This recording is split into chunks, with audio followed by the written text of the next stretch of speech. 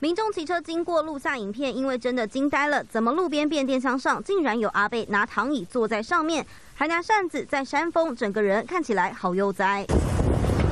再看一次，不止电箱旁有两个阿贝，电箱上还有一个放躺椅在半空中，看起来超享受。民众看傻眼，直呼阿贝居然不怕电磁波，要是不小心漏电该怎么办？骑过瑞龙路，我女儿就说：“哎，电那个变电箱上面有人呢，有点夸张。”我觉得说。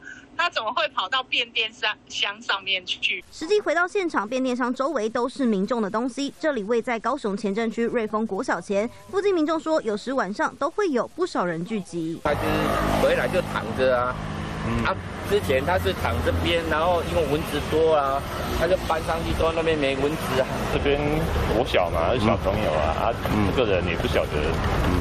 会对小朋友有什么影响？经查，本处设备均有定期维护点检，并无危险，会在派员前往查看，并尽量劝导民众不要聚集。台电说明，经过维护，变电箱目前没有危险，只是搬躺椅山峰乘凉，变电箱意外变成阿北乘凉的好地方，奇特景象还是让人好惊讶。记者蔡双吉、陈珊珊高雄采访报道。